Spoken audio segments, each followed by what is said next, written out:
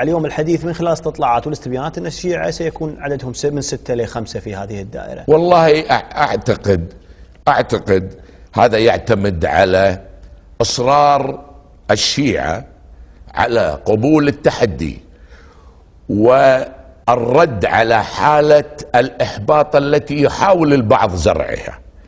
لا- لأن هذا مخطط. بالأخير من يحبط هو من سيدفع الثمن. قد لا.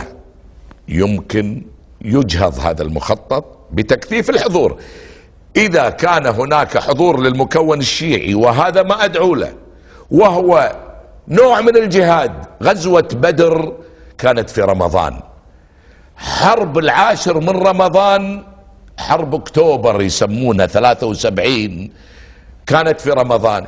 وبالتالي سهالات رمضان لن يثني أهل الكويت عن المشاركة وعلى وجه الخصوص من يعتقد انه مستهدف فإن حضر الناخبين الشيعة أبناء الدائرة لا أبشرك هذا المخطط يجهض وبإذن الله لن يقل عدد مقاعد النواب الشيعة في الدائرة الأولى بس دخلتنا في حروب ابو طلال. هذا يعني الواقع. يعني غزوة بدر آه، حرب 73 شكوا في أحمد، في موضوع المشاركة. آه، لأن كانوا صيام الناس ال- المؤمنين الرجال اللي صدقوا ما عاهدوا الله عليه كانوا في الغزوة صيام ويعني يغزون غزوات لنشر في الإسلام. لنشر الإسلام في مواجهة آه الآخرين نعم.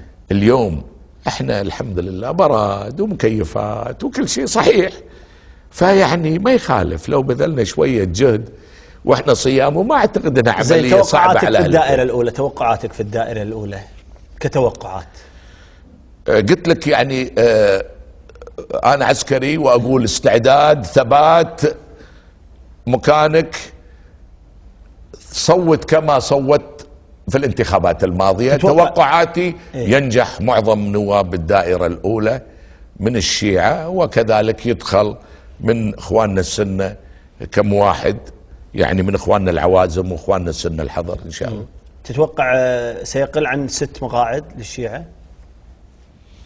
إن شاء الله لا لا إن شاء الله لا